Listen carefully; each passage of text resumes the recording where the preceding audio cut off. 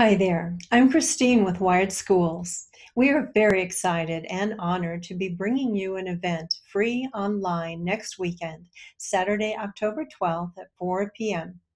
It's on the topic of the dark side of smart home technology. And you'll see this, um, this invitation below. All you need to do is copy and paste this join link into your browser to be able to join us.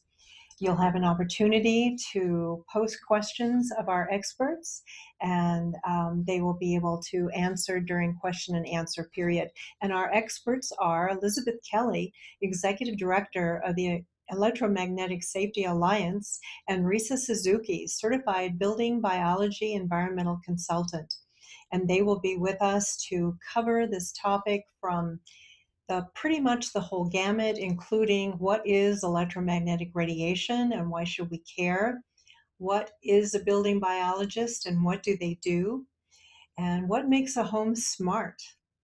The science behind it, public health implications, how to protect ourselves, and special considerations involving real estate transactions.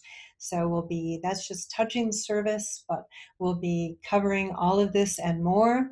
We hope you'll be able to join us. Thank you. Bye for now.